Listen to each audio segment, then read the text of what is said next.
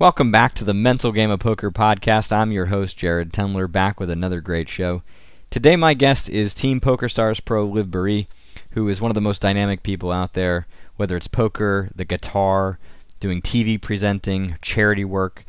She's a highly dynamic person with a lot of interests and passions, and that's one of the things that I get most from her is just the passion that she has. But it's a really wide ranging interview, and like many of the people that I've interviewed lately, she is really focused on self improvement and her mental game. So it's a, a great interview for anybody who has a passion for learning and is always striving to improve themselves.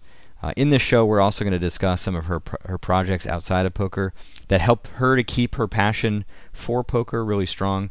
Uh, why learning is so important, especially during during downswings, and how she deals with criticism, both her own internal critique and of course from other people.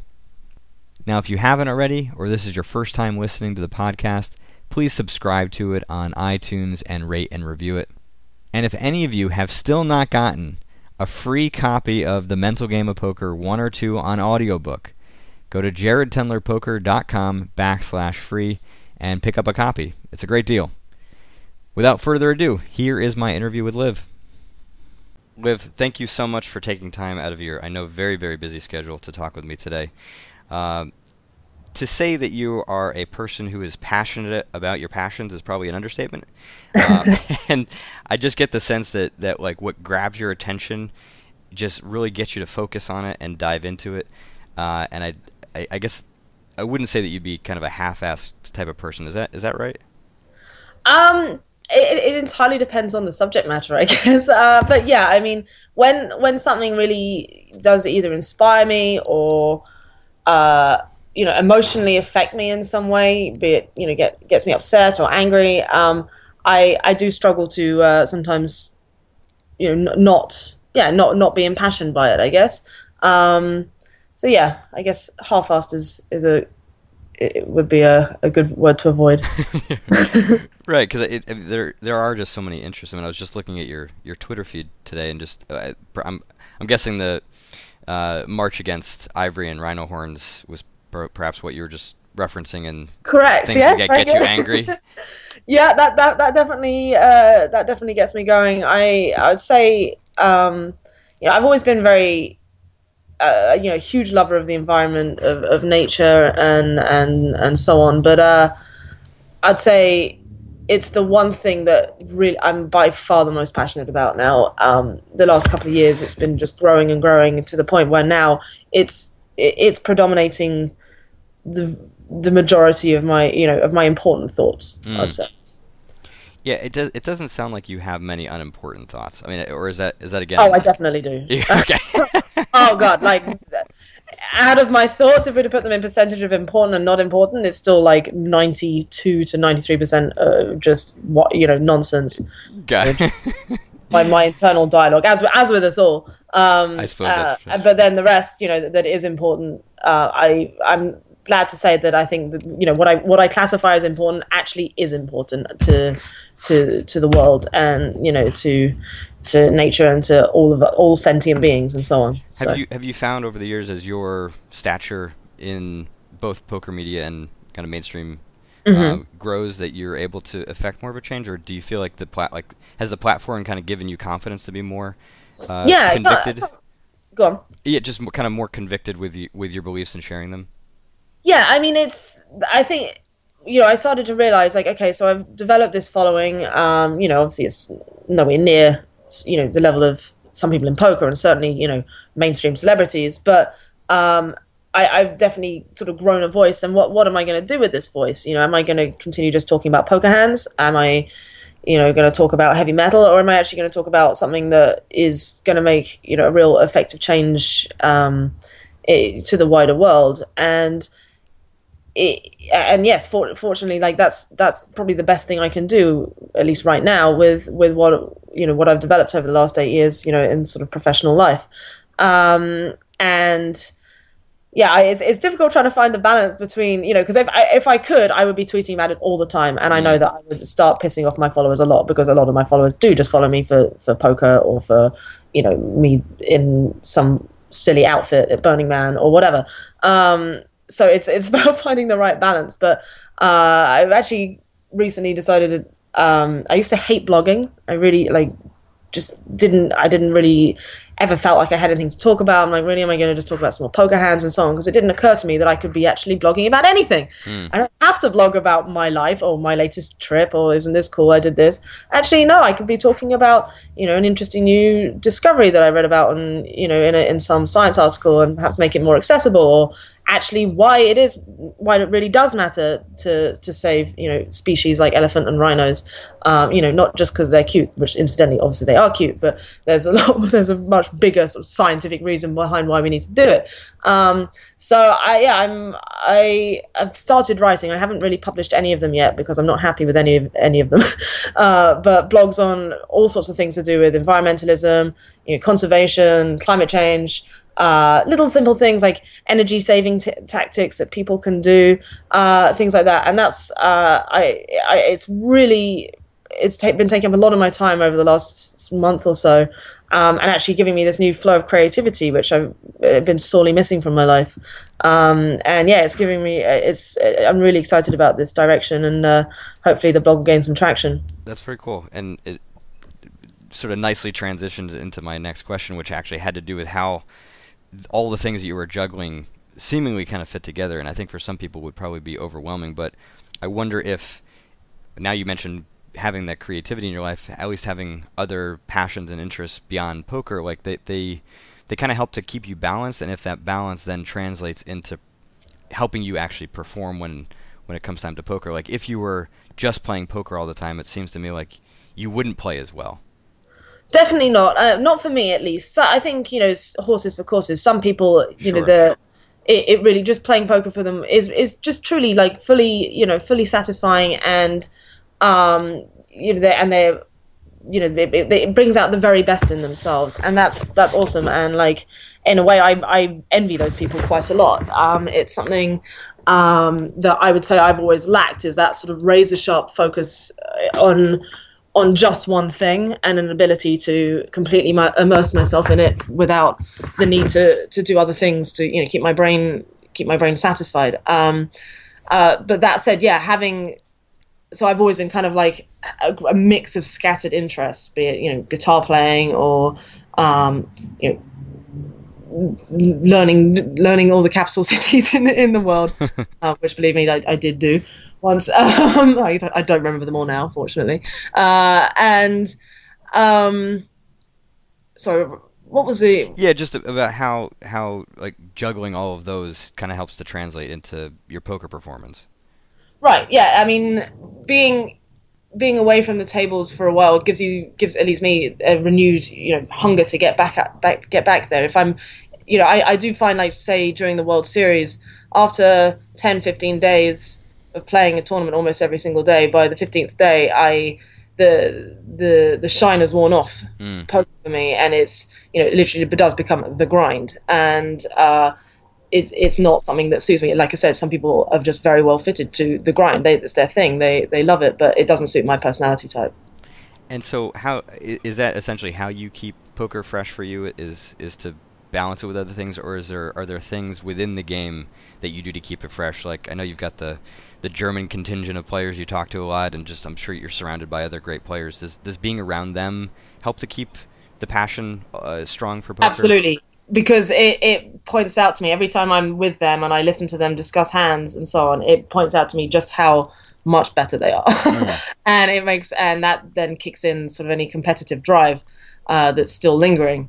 It goes, oh wow, hang on, I'm I, am i am not even remotely close to being near the top uh, when I when I you know when I get to hear what the way that they're thinking. So then I go, well, I ha- I can be. I I hate not knowing that I'm I've reached my maximum potential. So um, it, it, gives a refreshed drive to to carry on learning. And yeah, learning is obviously the most satisfying thing in poker. Is well, it shouldn't be, but it usually is. Is winning. Um, but the winning you can't rely on that to always be around. Um, you know, downswings, um, which I've been I've been experiencing for a little while um, are the, you know can be pretty extensive and and continuous and soul destroying. But knowing that you are all the time just learning and learning and getting better and becoming more and more detached from the actual outcome of any given hand or, you know cash game session or tournament um, gives you gives you again like this sort of satisfaction and uh, renewed renewed confidence. And does that does that help to sustain through that downswing, like knowing that you are continuing to imp- improve as a player? I mean, it Yes. obviously can't replace the validation that comes from having success translate on the table, but yeah, you but you can get the thing is like you can get that validation by going to someone you know i'm like i'm so fortunate like going to you know igor or whoever and go okay well i, I lost this hand but this is my deduct you know this is what i assumed his range was and and you know and that's thus i played accordingly and i took this and he was like well you just broke that hand down beautifully. You you, you your mindset you know your thought process was absolutely perfect. He said you played it exactly how i would have played it. And he said doesn't matter. You know yeah fine. You happened to just run into the top of his range. And like that hearing that praise oh my god that that is worth so much. Um and so i mean i'm very i'm i'm so damn lucky to have you know people like him in my life where i can just you know have have this kind of level of discussion and you know feedback and i'm obviously even the negative feedback is put to me in a good way so it it, it doesn't hurt too much but uh yeah it's um that is invaluable absolutely invaluable you you got your start in poker uh, being coached by Annie Duke. So from the beginning, you were learning from other people. Uh, was that true for you, not just in poker but elsewhere? That you feel like you you learn best from learning from other people. I mean, I think everybody has their own learning style. Is is that essentially yours?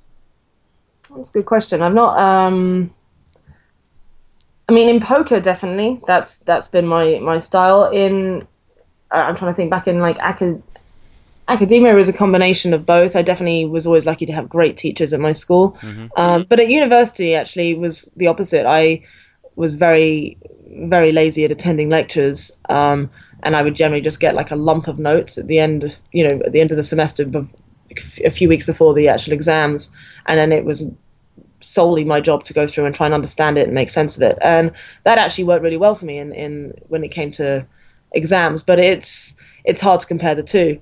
Um, but generally speaking, the the just of actually yeah, in things I, I've learned recently, perhaps about um, you know just mindset in general and self improvement. That's almost all come from other people who are you know either more experienced or just wiser or have uh, you know just a different range of experiences to draw upon. Right, right, right. So you, you mentioned the downswing, and um, you gave a really candid interview. It was actually a pretty quick interview, um, and Chrissy, uh, with Kristy Arnett of uh, formerly of Poker News last year at the PCA, uh, where you'd said you kind of got to the lowest um, point mentally in your in your career, um, essentially saying that you're kind of the biggest critic and just really really hard on yourself.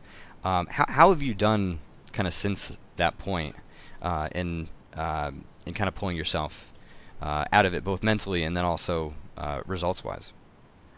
Um, well, actually, yeah, if that was interview was at the start of PCA this year, then I actually went on a nice little upswing uh, for a few months, um, and who knows? It could have just been purely, purely just variance. It, it could be. Um, I, I actually got work with um, a local mental coach um, here in the UK. Uh, he's sort of does some work in hypnotism and so on. And I had a couple of sessions with him Mm-hmm.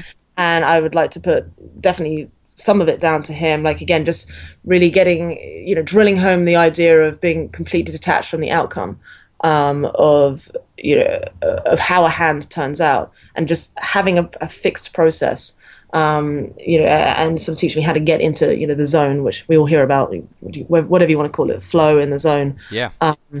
you you know all all top sportsmen and women you know news anchors whatever whatever sort of type of job someone has which requires uh, intensive elite performance um, the they all have this strict regimen which seems to be they have their process. Whatever it is it's just from like getting up before they they play or whatever it is they have to do and taking each step like each learned step which just they know that this is what they do um, to get them into the right mental state and taking literally each each step at a time and not being like the moment you feel your mind going off into oh well this could lead to that and that and that you just have to remember bring it right back to now and be like no i right now I have to just practice my golf swing and just this is what I do. I do 20 swings like this and then I do that, you know, or whatever whatever the thing is. And in poker, um, I started writing down like a little a little literal list of what are the questions I ask myself in every step of a hand. You know, okay, so what is uh, what is his range here? What is my perceived range? Know, um, what uh, what what have I what what facts do I know about this person? and So on and so forth. Just having this this strict regimen of thought uh, for each stage, uh, for each yeah, for each decision making, um, each decision process I have to make, um, was so incredibly helpful. And again, like my then and then I would judge my success not on how the hand turned out, but on how how strictly I adhered to those those steps and those processes. And it was an amazing feeling. It was so liberating because then I could I could pure like then I'm just totally in control of myself. You know, I, I, I because poker's so frustrating because we can't we're such at the mercy of the cards so often um, that you you'll unfairly chastise yourself. Oh, I played that hand badly because this is like no, the guy just happened to have the top of his range or whatever, or he just happened to do something completely random away from uh, you know the observed norm of him or whatever. And uh, having this, so yeah, just it gives you it gives you basically back the power of being like, well, no, my my only measurement criteria is how strictly I adhere to my my thought processes and not on actually how any kind of outcome is. You can bust a hundred tournaments in a row, but if you stuck to what you have studied and learned to be your to be the most optimal thought process, then you should be immensely proud of yourself. It's fantastic stuff. Uh, and as you were talking and thinking about this decision making process that you've got pretty well defined, I, I guess I wonder too that if if you do get distracted, you do get maybe even a little frustrated by the results, which can happen at times, or uh, oh, I still get it all the time, by the way. that that that the process becomes the thing that can kind of keep bringing you back, like exactly. That. It's like your safety net. It's yeah. uh, and and that's the thing that I think everyone should. Um, again, not just with poker, with any any kind of performance related activity. Uh, that's the thing you have to uh, you, you have to work the hardest on. And does that translate in terms of your preparation before the event as well? Like, is there do you have um, a process or a routine for how you prepare before a tournament day? Yes and no. I think actually, I'm trying to think back to then. So when I had this like little this this little upswing, um, I I was definitely taking time to meditate more before I played. Mm. Um, I had this like breathing exercise that I learned in the uh, at this yoga ashram we found in the Bahamas, which is next to the Atlantis where PCA is held, um, and so it's like a little 15 minute breathing exercise that you do, and that definitely got me into a very uh, level-headed state before playing. And I have to say, recently I I let that slip, and perhaps that's why I'm I haven't been seeing the results again over the last few months. Um, uh, so I should set that experiment to to start strictly doing that every day. Um, and uh, the the thing with particularly with poker players on the road, our our lives are so. I mean, chaotic's too too negative a word because obviously our lives are massively fun and awesome, but we just don't have a routine. Mm-hmm. You know, I, one of the most common questions I get asked by particularly mainstream media is, "Oh, Liv, what, t- tell us a typical day in your life." I'm like, I, I don't know. Is it a day where I, you know, I'm back home and I want to stay in bed all day because I feel like it's necessary because I'm jet lagged by you know I want to sleep for ten hours, or is it a day where I'm randomly up a mountain, or am I in a you know, there is no there is no regular day, and that's glamorous and romantic and and awesome. Oh God, I mean I love it so much, but at the same time, it does then take a toll on you um, in in things that human being human beings need. We need we do need a some structure. We do need routine. Um, th- things like that, and and I would say it's a thing that a lot a lot of poker players struggle with um, because there's no one there to, you know, we we've had rules until we were sort of 16 or whatever age we left the house. You know, clean your teeth twice a day, be in bed by this time. But now all of a sudden that's gone, and most other people then go into a job where they just have to be asleep by a certain time, and they know they have to do that, and you know they'll have a couple of weeks of holiday, but our lives are a permanent vacation, and uh, we have all this wonderful freedom, but we are sometimes our own worst enemies at then giving ourselves rules that we still need.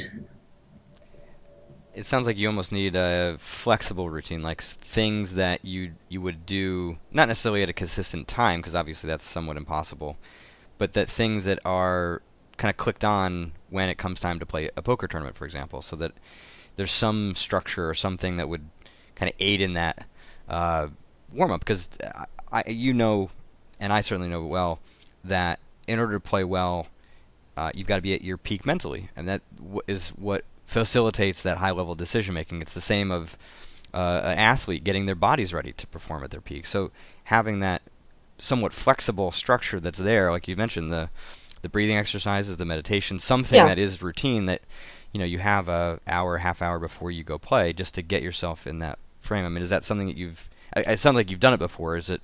I, I did do it, and I did see. Yeah, I, I saw some of you know some of my best results in in you know recent times uh, because of that. Um, well, I'd, I'd like to put it down a lot of it down to that. Um, you know, car, cards cards are relevant, I guess. Yeah. Um, yeah. And, and yeah, and thinking about it, I like I'm off to play the UK IPT tomorrow. This is a, a good reminder to me to actually listen to my own damn advice and, and do it again. It's funny how we can all uh, make, Yeah. it, make it easy to have have advice given, t- or you know, give to others, but sometimes hard to do for ourselves. Absolutely. Yeah. Um, you mentioned something earlier. I want to kind of jump back to this, which was around um, criticism. And like you said, if you're speaking with a player that you whom you trust, and they're giving you kind of construct, constructive criticism, Yeah. uh, that's you know obviously something that's productive. But in all culture on many levels, especially on the internet, um, much of the criticism out there ends up being very negative and kind of full of vitriol. Um, And you said it in an interview uh, that I thought was really interesting, mostly because I just had never thought about it. I, it being a guy, uh, probably am like many guys who just don't think about this very often. But you said that that women often get a disproportionate amount of the criticism and much more than they deserve. Can you just kind of talk about that a little bit, just to kind of educate all of us male idiots out here who don't quite understand or see that? Um. Well, uh, first of all, I don't like you're not ma- male idiots by any means. you're like no, but really, it's I, I hate you know I hate creating any kind of disparity in, in in terms of you know who's right or wrong about certain things. But it is if it really you know as much as people hate to hate to admit it, but if you actually spend some time reading you know posts about any female player, any player, even you know someone like Selbst, who is obviously world class, that people will just find anything they can to to to to latch onto that could be remotely construed as negative. Um and and and yeah it's like this oh oh, oh a girl won. Okay well she must have gotten lucky you know.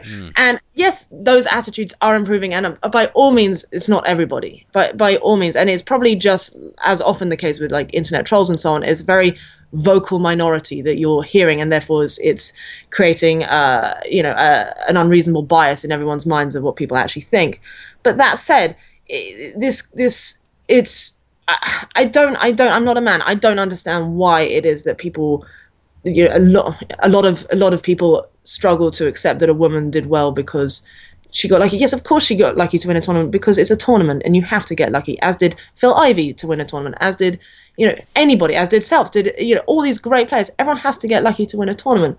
Um, and yes, perhaps yes. Sometimes someone does win who's an unknown, and you know, like you know, I know I got a lot of shit when I when I won EPT San Remo. Oh, she got lucky. Well, of course I did. It was a thousand player tournament. I got massively lucky.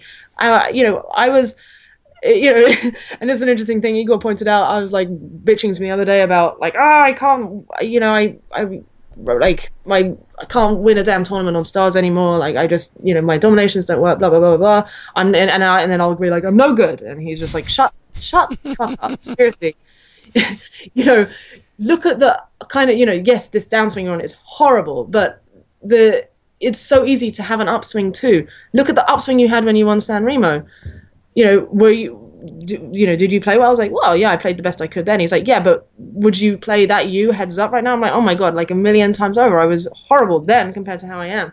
Um, and uh, I'm digressing from the original point, um, which was all interesting though about just the disproportionate critic criticism. Yeah, um, yeah, and it's just like, i you know, people. I don't know. I mean, it, to be fair, like a lot of main event winners get it too. Like when Joe Cada won the main, you know, he, you know, everyone was very quick to jump on the bandwagon of, oh, well, he did get lucky. Yes, of course he got lucky. Um, as would you know, if Darvin Moon had won or if Phil Ivey had won. Um, but people, I don't know, they. I, I mean, I mean, as with all, as with all like internet trolls and so on, it's coming from insecurity. Like if someone is, there are people out there who just it must suck. Like they just they spend a lot of time on the internet looking for negative things to say because they they they hate their current situation, whatever it is, the the mindset that they're living in, um, and it, it's just such a shame because people do read this stuff. You know the the players themselves read it. Like I know I've read it and like taken it to heart far too many times. Um, and you know. People aren't as deluded you know when someone wins a big tournament they're not as deluded as, as they well very rarely are they deluded where they think they are the best and more often than not, then this can hurt the game further because then perhaps a, a you know another woman wants to come into the game and has googled the, the, their hero, and then they're like, well, wait, everyone's just saying she's like, oh, everyone's oh wow, everyone yeah. seems to what what the hell? Well, how is this helping our you know our industry? Like we like everyone knows it'd be great if more women play, um, because it's gonna it's a huge untapped market, um, and I don't know, it's just it, it's just a. But the market has to be more receptive and open and yeah, and, and, like I said, it is massively a very vocal minority. Um, the majority of time, people are very supportive, but you still, I don't know, you still see a lot of regular regular players who just the moment a known, it's not even necessarily just a woman, but a known player makes a bit of a fuck up, which they're going to do, or they don't play a hand quite optimally. They they they they find a way to post about it on the internet and like, look, look, look, look what they did. Look, they're no good. They're no good at all. And I mean, of course, it's just to like make themselves feel better, but it's it, it's not con- it's not constructive to anyone and certainly not to the to to themselves so like next time you want to go criticizing a player just go okay well they didn't play this right well learn from it but keep it to yourself it doesn't it doesn't it doesn't it do, all it does is bring yourself down and the industry down a little bit by by trying to bash by bash someone else's success well since you're doing a lot more blogging um, this would be a cool topic i would love for to hear kind of more of your thoughts on this um, it's it's and I also say because it's I think it's a really important one. Um, women in poker, I think, need to continue to feel more and more comfortable just being there. I I coach several women players, particularly live players, and and mm-hmm. their experiences uh, are sometimes horrendous. Really, I mean, it's like despicable sometimes the the treatment that they can get. Uh, and I, I yeah, agree I mean, with you that the like, people, people, people go, oh, it's you know. It, no, no one ever says anything in, in live, and it's true. Like I barely have anyone ever say anything mean to me in person or live, but it's on it's online, uh, and it's there's really no difference because I don't know whether they just assume that the person isn't going to read it, or maybe they hope that the person does read it. But it's no it's no different to.